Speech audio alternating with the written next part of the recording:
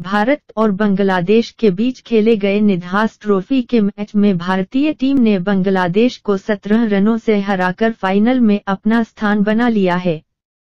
इस मैच में टॉस हारने के बाद पहले बल्लेबाजी करने उतरी भारतीय टीम ने निर्धारित 20 ओवरों में कप्तान रोहित शर्मा के नवासी, सुरेश रैना सैतालीस व शिखर धवन के 35 रनों की मदद से तीन विकेट पर एक रन बनाए।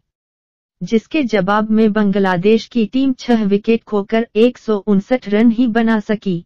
बांग्लादेश की तरफ़ से सबसे ज़्यादा रन विकेट कीपर रहीम ने टू रन बनाए। इसके अलावा तमीम व सबीर रहमान ने भी 27 सताइस रन बनाए। भारत की तरफ़ से सबसे ज़्यादा विकेट वाशिंगटन सुंदर ने लिए। उन्होंने चार ओवरों में 22 रन देकर तीन विकेट झटके। इसके अलावा मोहम्मद सिराज यजुवेंद्र चहल व शार्दुल ठाकुर को एक एक विकेट मिला।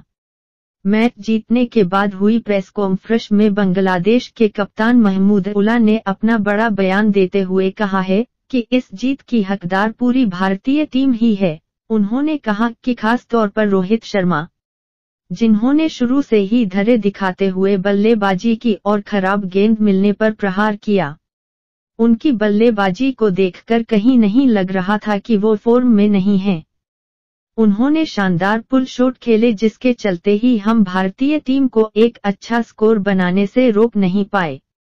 अगर शुरू में ही रोहित का विकेट मिल जाता तो फिर हम भारतीय टीम को सस्ते में आउट कर सकते थे। इसलिए रोहित की जितनी तारीफ़ की जाए वो कम है। दोस्तों, आपको क्या लगता है कि रोहित शर्मा ने अच्छा खेल दिखाया है? तो इस वीडियो को लाइक करें। तथा नई नई जानकारी पाने के लिए इस चैनल को सब्सक्राइब करना न भूलें।